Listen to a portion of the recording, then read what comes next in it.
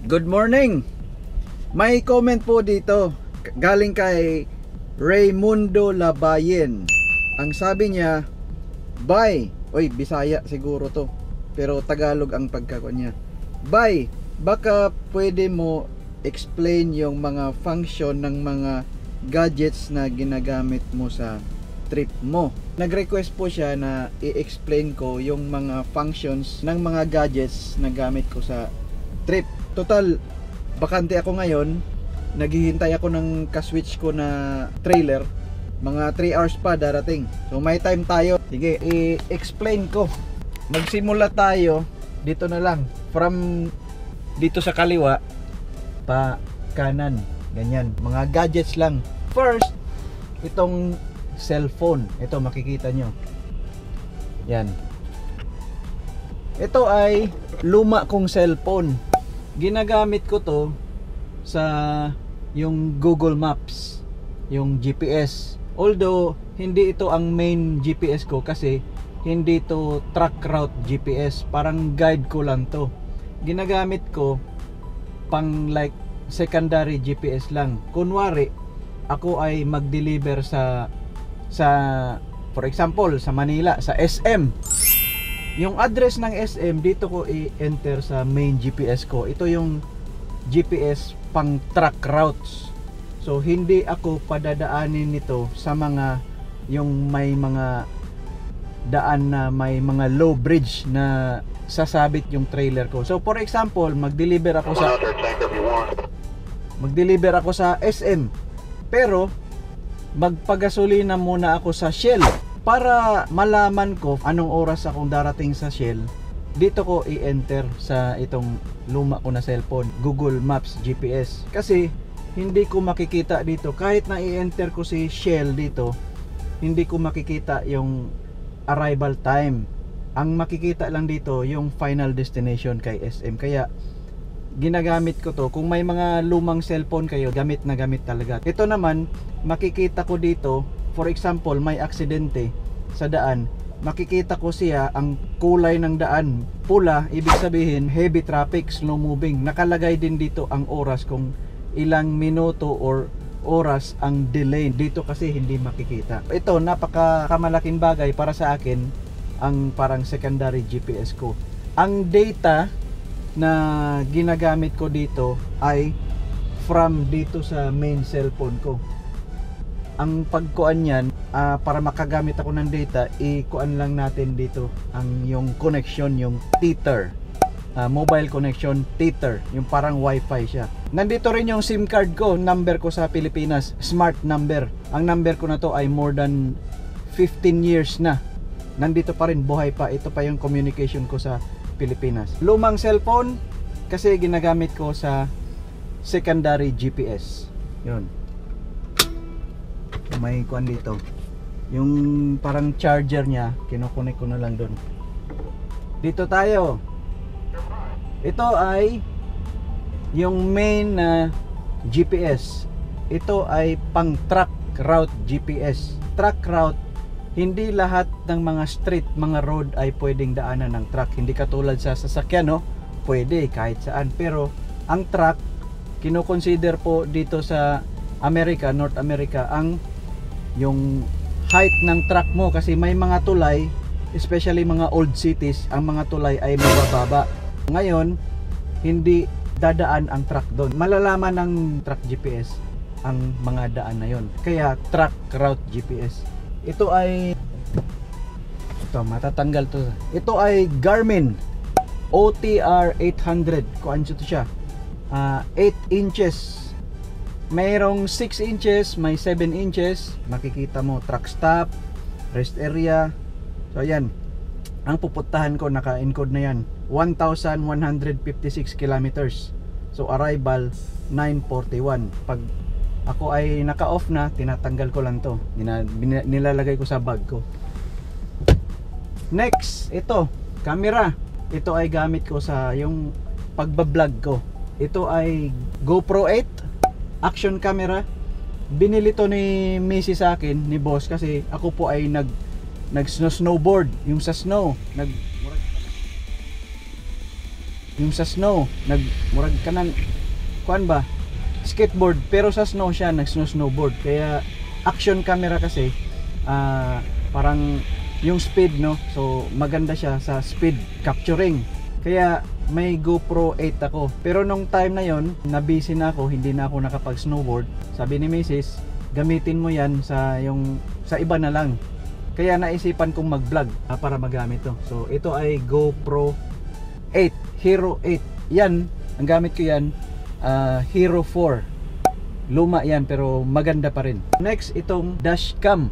Napakalaking bagay para sa amin no mga truck driver kasi ito ay parang life saver namin. Most of the time, sinisisi ng iba na ang driver ay may kamalian palagi sa oras ng mga aksidente. Kaya ito ay napakalaking bagay. Nakaka-capture niya lahat kung ano ang mga pangyayari. Personal to, hindi to provided sa company. Meron din siyang nakaharap sa akin, no? Ang camera ay nandito. Ito. Ito. Maliit nakikita niya yung yung side view ko. So sa harap tsaka side. Next is ito, ilag. Ito ay electronic lag device provided to ng company. Dito lahat makikita ang oras namin, yung driving time. Ito yung parang sa, sa, sa Pilipinas, tinatawag nila na DTR, Daily Time Record. Nandito lahat electronic na lahat required nito sa North America ilag na lahat. Before kami mag-start ng trip may tinatawag kami na pre-trip inspection pre-trip vehicle inspection. So dito namin ini-encode lahat ang mga checklist. Nandito tapos pagkatapos ng biyahe may post-trip vehicle inspection. Along the way papunta ka sa customer may on-road vehicle trip inspection dito rin ilalagay. Sa oras na may mga defect, minor or major defect, dapat naka-encode dito lahat. Kasi ito ay naka-online doon sa opisina namin sa safety. GPS ko anto satellite. Hindi to nawawala ng signal. Accurate to, uh, real time. Sa oras din na kami ay ma ma-check sa Department of Transportation or sa mga police, mga highway patrol, tinitingnan po nila itong uh, ilag namin. Tina-transfer po yung data doon sa computer nila. So makikita nila kung uh, ilang oras kami nag-drive, saan kami, uh, anong ginawa namin doon. Kasi every hinto, like for example, hihinto ako, mag-brake, i-enter ko dito, mag-brake. Hihinto ako magkarga ng diesel, i-enter ko dito, nagkarga ng diesel. So detailed yan, dapat naka-input dito kasi ito ang titingnan ng authorities electronic logging device. Mapasok din dito ang mga information ng mga load ko. E-log. So kung makikita nyo yung mga truck, may mga sticker sa labas na e-log equip. Use, using e-log. So ito ang ibig sabihin nun. Electronic log. Matatanggal din to. Yan. So may mga iba-ibang brand, klase ng e-log. Ito, ang gamit namin ay Omnitrax. Iba yung tablet may ibang ibang brand din. Hindi ako pamilyar pero ito sa amin is Omnitrax. Next ito cellphone. Ito ay personal ko. Ito po ay yung pinaka main na communication ko sa opisina namin kasi dito pumapasok ang mga details. Tatawag kami no? Syempre si bossing pagtatawagan tayo. Ito network nito is Canada and USA plan. So ma Canada man ako may USA ito ay magagamit ko. Fix ang bayad ko. Bayad ko naman para may idea kayo is 90 dollars. 90 Canadian dollars, 60 gig, 60 GB, unlimited use. Hindi ko maubos-ubos kahit na ako ay nag uh, Facebook, nag YouTube, nanonood ng movie sa laptop ko, dito ko kinukuha ang signal, hindi ko maubos ang 60 GB. So ito, cellphone dito galing ang signal sa dito sa secondary phone ko sa luma ko na cellphone at saka sa laptop ko yung mag manonood ako ng movie sa Netflix. Next, ito CB radio. Ito ay parang optional. Personal to, hindi to provided ng company namin. Oh, napakalaking bagay din to kasi nga may mga ruta kami na walang signal ang cellphone. So sa oras na like emergency or mga kung gusto kong malaman ang mga information lalo na pag sa Northern Ontario snowy weather no So maraming trucks dito ko sa CB radio kinukuha yung information. Maririnig mo kasi ang mga kwentuhan ng mga driver, halimbawa mag-traffic no, may aksidente. Ma- maririnig mo dito may mga driver na nakadaan na sa aksidente, sinasabi niya dito, o ganito ang nangyari. May driver din na magtatanong, going on here. Maririnig ko ang information para sa akin is importante. Meron ding mga nagkwentuhan, mga nonsense na ng mga kwentuhan, no? minsan pinapatay ko na. Lalo na sa border crossing sa Detroit, Michigan. Napaka-traffic doon. Ang daming magmumura. So pinapatay ko. Pero talagang maganda to. Napakalaging bagay. Dito rin ako minumura kasi nga ang truck ko ay 100 kilometers per hour lang. Mabagal. Ako po kami po ay mabagal. Up to 100 kilometers per hour lang. Dito sa Amerika 100 is 62 miles per hour. Ang speed limit is at least 65 merong 70 so talagang mabilis sila. So yung mga American trucks talagang mabibili sila. So ako naman pag makaharang ako sa kanila nagagalit yung ibang driver. Minumura ako dito, pero bina, binabaliwala ko lang, ah, hinayaan ko lang sila. Yun ang professional driver, no? Hindi mo patulan sila. Minsan nga, pag time na mag-overtake sila tapos makatabi ko na siya, dinidirty finger ako, ah, minumura ako.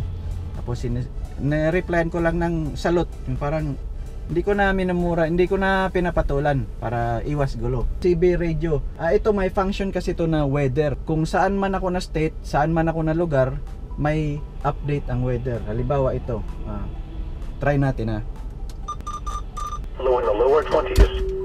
Monday and Monday night, mostly clear. High in the lower 40s. Low around 16. Yan. Mostly clear. Maririnig ko. High in the mid 30s. Low around 20. Sinasabi niya doon ang weather for the day, for tomorrow or for the rest of the week. Itong radyo na to ay iba sa noong pinakita ko sa previous vlog, yung sa yung vlog ko na may snow sa trailer ko, 'di ba? Pinakita ko doon na binigyan ako ni Mrs. ng radyo ni Busing. Ang nangyari kasi sa radyo na yon may diferensya. Kasi ilang araw nagtaka ako, ba't wala akong marinig? Kaya nung time na talagang curious ako bakit, may truck po ako katabi sa truck stop. Sinabihan ko siya na I think my radio is not working. Tinry namin, nag over over kami no. Channel 19 kasi ang channel sa mga truckers. So wala talaga. Renewable shoot niya, tinulungan niya ako. Talagang wala. So may may problema yung radyo. Sinauli ni Bossing. Tapos pinalitan ng bago ito. Ito ay ito para ito. Uniden Bearcat 980. Mas mahal siya doon sa yung unang binili ni Mrs. pero okay na siya, satisfied ako. Nilagyan ko rin siya ng external antenna diyan sa labas kasi itong truck na to may built-in na antenna. Pero mas maganda ang may external kasi mas malawak yung kuha natin, yung sagap ng signal. Next, ito, Bluetooth headset. Ito ay mostly sa mga drivers no, ito yung makikita nyo. Yan. Mga ganyan sila. Ito ay Blue Parrot na Bluetooth. Ang model niya ay B450 XT. B450 XT. Minsan ko lang tong ginagamit. Pasakit dito sa ulo na ko. Hindi oh, kani. Kuan man good kanang napaka tight. Bihira ko lang siya ginagamit. Ginagamit ko lang to pag mag-lowbat yung talagang headset ko. Ito. May ito yung pinaka paborito kong headset. Um, kuan to siya. Plantronics. Kasi dito lang. Tapos ito kasi pag may mga customer kami na kailangan namin mag hard hat required, hindi ito magamit. Ito yung ginagamit ko. Ito. Ito talaga ang ginagamit ko most of the time. Tapos pag mag lowbat, i-charge ko siya. Ito na ang ginagamit ko. I think yun lang. Yun lang ang gadgets na nagagamit ko no sa trip ko. Ito lahat except sa itong company provided ay binili ni Bossing ni Mrs. Napaka-supportive ni Bossing. Shout out sa iyo, Bossing. Ah, binili niya lahat ng mga kailangan ko. Isa na lang ang hiling ko, pero yun nga sabi ko dati, bungol man siya, gahi kaayo. Ang drone ba kanang maglupad-lupad yung sa katulad kay Pinoy Tracker, nahawakan ko na siya, ang ganda. Ulit yung camera. Gang! Igor lagi ko hikapan eh. Gang! Palitoy gini si Marlon lagi gang. Ay gini si Kwan gang. Indot kaayo oh. So, yun lang ang hiling ko. Sana dito nakapaglipad na sana ako ng drone. Kung meron man sana akong drone. Okay lang. Makapagkuha pa naman tayo ng mga view no kahit wala tayong drone. So Raymondo, I hope na may nakuha kang information sa mga pinakita ko. Sa iba dyan, kung may gusto kayong i-content ko, please comment lang para mabigyan natin ng time. Yun lang. Maraming salamat. Keep safe, drive safe, keep on trucking, and see you in my next video. Bye.